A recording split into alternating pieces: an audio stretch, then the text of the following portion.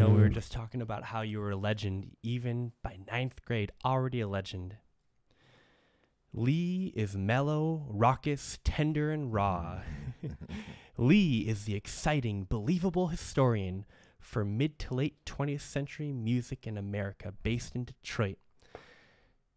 But we just talked earlier tonight about how even by ninth grade, before you opened up your store, before you even left your home state of Arkansas and, and moved north, seeking a better life in Michigan, here in Detroit, where we where we're sitting now tonight as we speak, before all of that, you are already a legend. But even before you were born, before your father was born, your grandfather, or before your mother, is, is your maternal grandfather. Lee's grandfather had a carriage because he was a preacher. It was leather inside, it had lanterns on the side to light it, one on each side. It was a nice carriage. The leather was really padded, it had pin cushions in there. Right, right. Very rich leather. Very Uh, rich. he had a wagon with a horse and a mule and an 80 acre farm. In his garage, he had a rope and chain to bring down the hood of the carriage in the air, or to bring the hood of the carriage in the air into the ceiling. The wagon was uh, like a regular wagon. Uh, you could adapt it to different uses, it sounds like, from a carriage to a wagon. When he died, he was 102 years old. Uh, Lee was really young when his grandfather on his mother's side died. Um, his grandfather wore suits and a watch chain hanging out of his out, out of the vest. Lee used to shave him and cut his hair every Saturday because he would go to church on Sunday.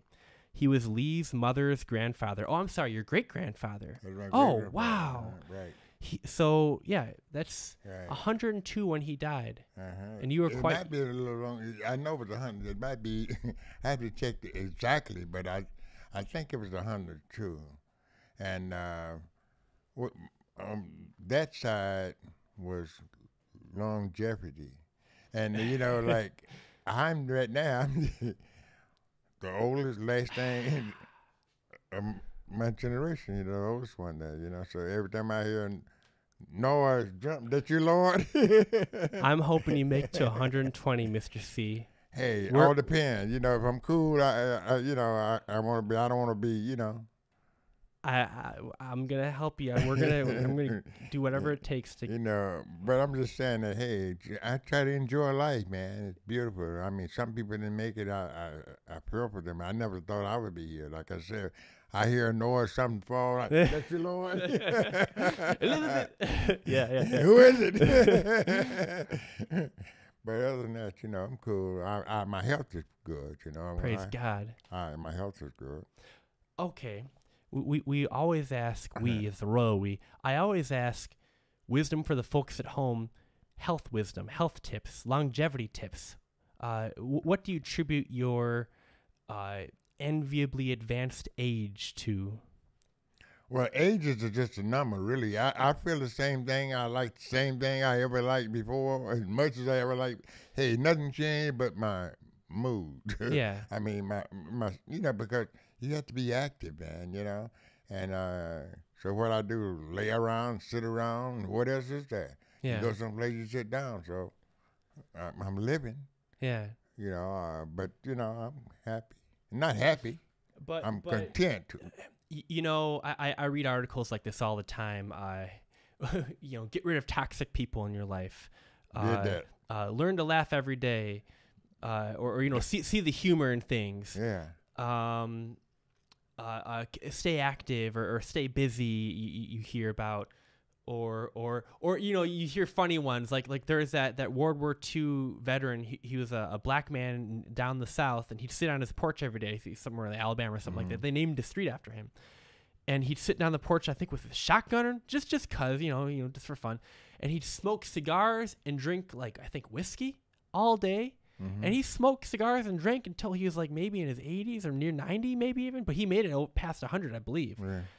Uh, some people just have the the their the edges, the t- telomeres of their the, the edges of their DNA strands don't break apart uh, after a certain period of time. Y- You might have aspects of that, or, but but either way, I, I always look to uh, uh, Exodus chapter twenty, the Ten Commandments: uh, honor thy father and mother, so that their so that thy days may be long upon the land. Um, that uh, or, or Proverbs, uh, wisdom, her value is far above uh, rubies.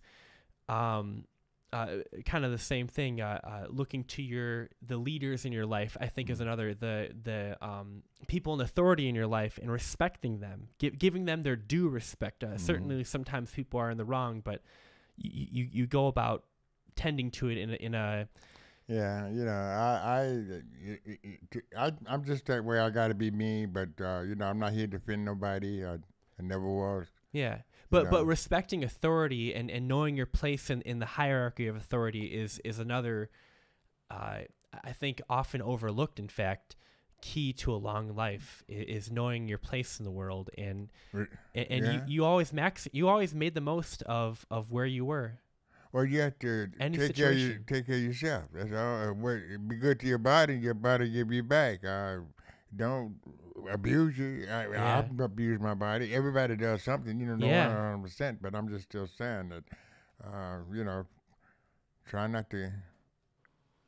You know, you can overdo anything. Amen. Do everything in moderation. Put it that way. Yeah. Now, And- do, do you have any other memories of your grandfather before we move on? Because he sounds like a fascinating. He was a preacher. Yeah, he was a preacher, and you know, and, and that time in that area they had settlement about five houses uh, radius so many miles, which my grandfather had eighty acres down there. I still on there, still in the on- family. It's in the family. Man. I don't know anything about it, but I don't. I you know, it's. But anyway, and uh, at least we was better off than a lot of people. A lot of people. Well, before we moved there, we was on the the white man. He said, uh, what what you call him Um, sharecroppers. Yeah, third generation sharecropper. We're on their property. You Yeah. know, he could marry you until you be off my house before sundown. Be off my property before sundown. Yeah. And see, when you live in the rural like that, if they got sign posted and a fence around it, you can't go. You can't cross that man field. That's private property. Under penalty of death. It's They possible. can protect it. Yeah, He's on his property. yeah, And so therefore, the county road, and we talked in school, stay on the county road or the state road or the city property. man. That's why when I came in public, I'm a guy, out the street. Who do you think you're talking to? You follow me? And Yeah. so uh, nobody can stop you from going on a state highway. Then when you get on the expressway, say you got a wagon, they tell you to put a, a vehicle on the expressway, it's got to have so many horsepower. It got to run. They got stipulation, Yeah, and it's before you go down on the expressway, they tell you that you can't go down there with a two wheel bicycle. yeah, and push you on the side. Of, you, the police gonna pick you up and take you to jail. And shit, you understand what I'm saying? rules are the rules. Right. And so I'm just still saying, but just to tell somebody to get out of the street because you don't like him, because whatever, whatever, you hit me, I see you. I'm Yeah. just saying, you know.